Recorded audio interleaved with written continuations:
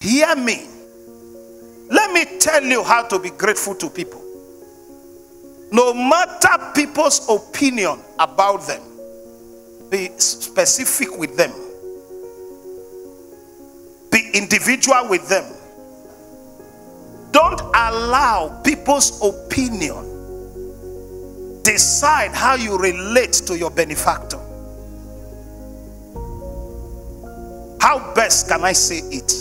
What English am I going to speak?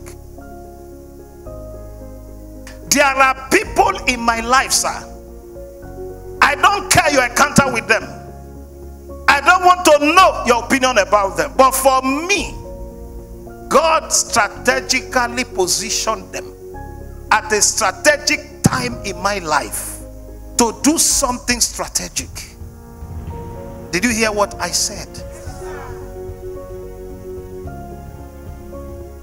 I know a man who is my friend.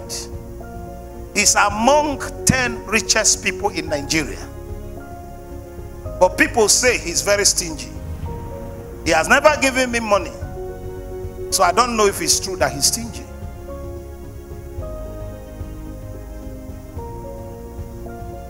Everywhere people say, hmm, how are you able to cope with this man? He say he's very stingy man.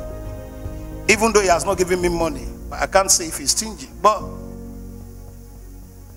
he has done for me what money cannot buy. Did you hear what I said? There are times in my life I need to reach out to people. For instance, I needed to reach out to a bank MD, one of the bank MD, for something very urgent. I didn't know him. I called him. I said, please, can I reach out to so so MD? He said, just hold the line. He put it on a three-way call. He's MD, sir. That's my pastor. That's my boss. Attend to him. In less than 10 minutes, what I wanted was done. The challenge you have, you are relating with people based on another man's opinion.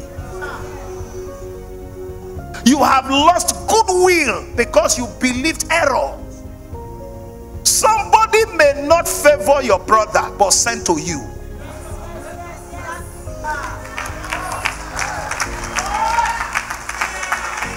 Somebody may be wicked to another person, but an angel to you.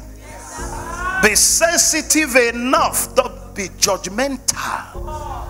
Don't judge your helpers, or else you die helpless. Did you hear this? Many times, I need to reach out to some people. He knows everybody. I call him.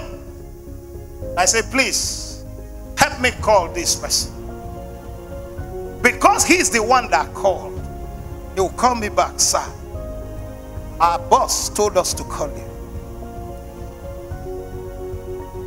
Relate with people not expecting something. If it happen, fine. If it doesn't happen, move on.